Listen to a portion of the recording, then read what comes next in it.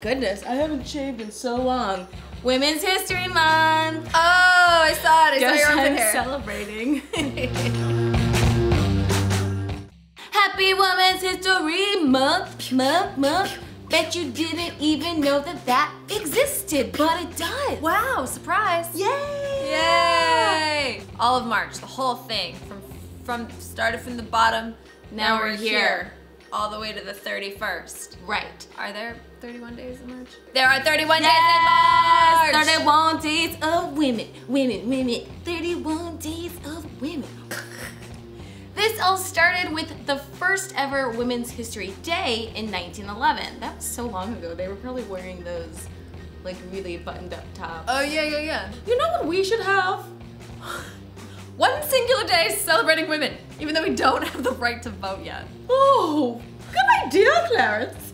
I love a party! In 1980, President Jimmy Carter made a presidential declaration that the week surrounding March 8th was going to be National Women's History Week, right? So he did that to go along with um, International Women's History Day, which is March 8th. March 8th. March 8th! March 8th.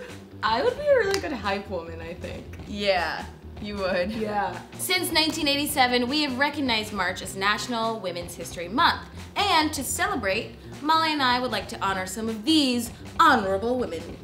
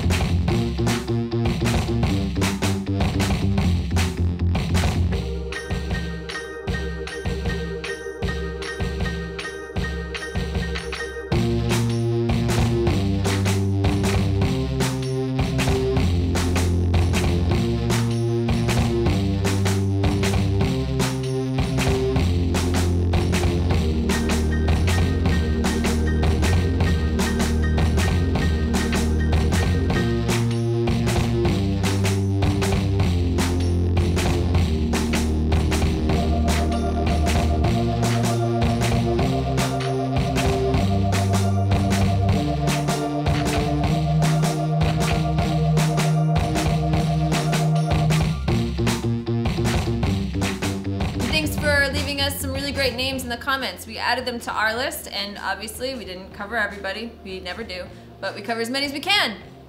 Because you can't, you can't cover all the great women. That's impossible, you know? I don't think YouTube allows for that kind of time. It would be longer than that Christmas video we made that was over an hour. Oh, you mean when we were acting like we were having a breakdown and then But we weren't. We were fine. we were just acting, but that but in the last video we were actually having a breakdown. You guys, thank you so much for watching our video, and please share it with uh, women that have made a difference in your life. Hug a lady you know. Think a lady you know. Write a letter to the lady in the Supreme Court Justice who's awesome. And just say thanks for being you. And you know what? Let's just be really great to each other. Maybe all through March, and then for the rest of the year. Just let's, and then maybe the rest of our lives. Sister. Hey ladies, just remember, not just March, but every month. Sisters are doing it for themselves. So keep on doing it.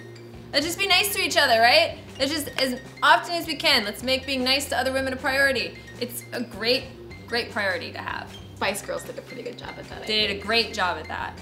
Just pretend like everybody is your Spice Girl sister.